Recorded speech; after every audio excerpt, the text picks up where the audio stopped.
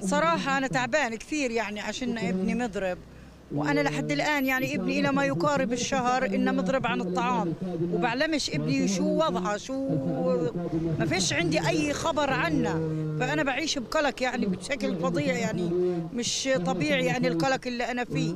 مع كل أسف أن حالة التضامن والمساندة ومؤازرة الأسرى الفلسطينيين في حالة تراجع قد يكون ذلك نتيجة الظروف القهرية والمؤلمة التي مر بها الشعب الفلسطيني خلال الأسابيع القليلة الماضية. لذلك أنا أقول أن المطلوب الآن من كافة أبناء شعبنا أن يلتف حول الأسرى المضربين عن الطعام.